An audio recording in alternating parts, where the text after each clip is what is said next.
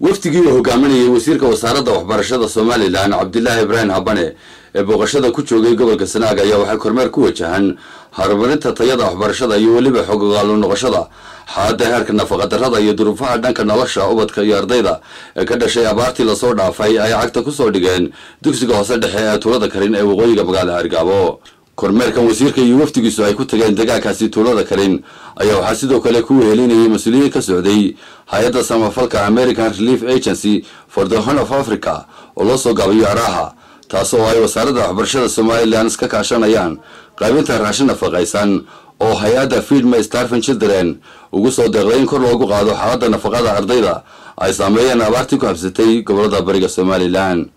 wasiirka iyo wafdigiisa ayaa markii ay gaadheen degaankaasi magaalada karinta waxaa halkaasi si mig u yimisaan loogu soo dhoweeyey dhammaanba qaybaha kala duwan ee bulshada iyo ardayda dugsiga hoose dhexe ee tuulada karin oo ku taal afka burta dalxiiska ee daalo waxaana ugu horreynba munaasabad kooban oo lagu qabtay barxadda dugsiga magaalada karin ka hadlay maamulaha dugsigaasi maxamed ducaale shire oo wasiirka iyo wafdigiisa warbixin ka siiyey xaaladda dugsiga isagoo halkaasna uga mahad celiyey hay'adda araaha oo deeq raashin nafaqaysana soo gaadhsiisay magaalada karin waxa aan mar labaad iyo mar saddexaad aan mahad gaara u celinaynaa. Wasiirka wasaaradda waxbarashadu halkanuu noogu yimi muddo muddadan ka horraysay wuxuu yidhi haye maxaa baahi oo qabtaan? Baahida aanu qabno galaasyadu waa nagu yar yihiin baanu markaa labadaa galaas baanu isticmaalayna kadib wuxuu wasiirku ayaantaa nagu yidhi deg deg baan uga soo jawaabaya. Laba bilood markay ka dambeysay kolley xukuumadda somalilan kubaana rag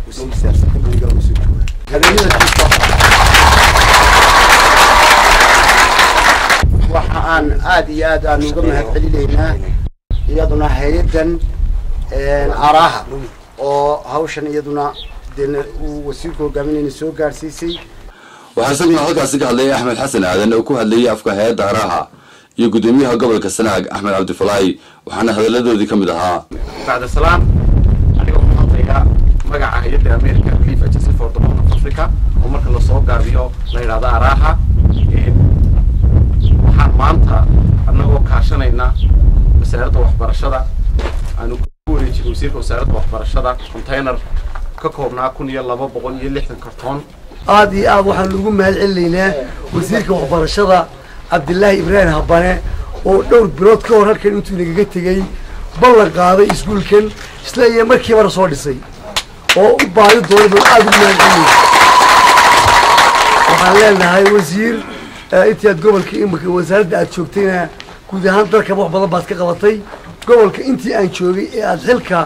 wasiirnimada ku soo wareegtayna waxa ugu ballaaran waxaa tahay wasiirkii ka kalena alcaafiya qaliil qaliil baa carabtu tidhaahdaaye waxyaabaha kalena insha allah horumarkuna waa iska soo kordhi doonaa mudana wasiir aad iyo aad baad u mahadsan ugu dambayntiina waxaa munaasabadaasi soo gebagabeeyey wasiirka wasaaradda waxbarashada iyo tacliinta sare ee somalilan cabdilaahi ibraahim habane. Kun iyo labada boqol iyo lixdanka kartoonba waa sidaa waan rasiif garaynay. We have received one thousand two hundred and sixty carton consisting of fortified rice with nutrition being given us by feed my chil my starving children implemented by Araha and also uh, transported by the life. Haddaanu wasaaradda waxbarasho nahay inaanu wixii aanu tari karayno dadka iyaga tarno oo u taagannahay. Mas'uuliyiin badan oo fara badan oo wasiiriye nooc walba leh oo sida iyadaa waxtar u ah oo u fikirayaana waa badan yihiin ma wada lihin waxaasoo ammaana ma wada lihin laakiin inaan dadaalno unbaa muhiim ah waanaan dadaalaynaa.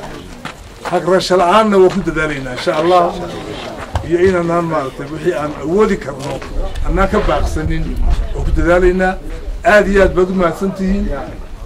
wasiirka wasaaradda waxbarashada ayaa sidoo kale kulan lagu tayeynayo waxbarashada u qabtay maamulayaasha mas'uuliyiinta iyo kormeerayaasha wasaaradda waxbarashada ee gobolka sanaag waxaa kaloo intuu wasiirku uu ku sugnaa magaalada ceerigaabo uu kormeer ku soo maray xarumaha jaamacadaha magaalada ceerigaabo ee golis sanaag university iyo jaamacadda bariga africa isagoo halkaasna kulamo kula qaatay mas'uuliyiinta jaamacadahaasi. Waa cabdiqaadir kabaweyne warbaahinta qaranka somalilan arigaabo